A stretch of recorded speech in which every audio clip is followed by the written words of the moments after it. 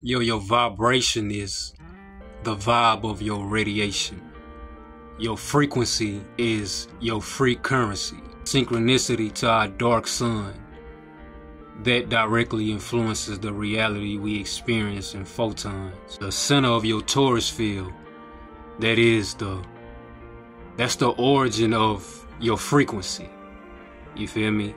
That's what makes you the that's what makes you the it the vibe of your radiation.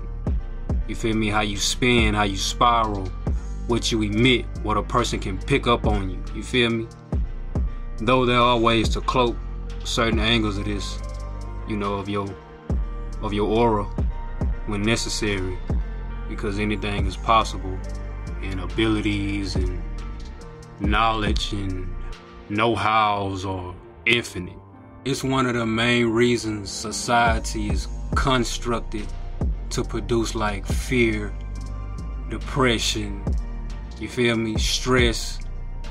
It's to knock your frequency so you can engage into these repetitions that offers you a false currency. So when we know how to maintain a healthy vibe in our radiation, no one can rob us of our free currency.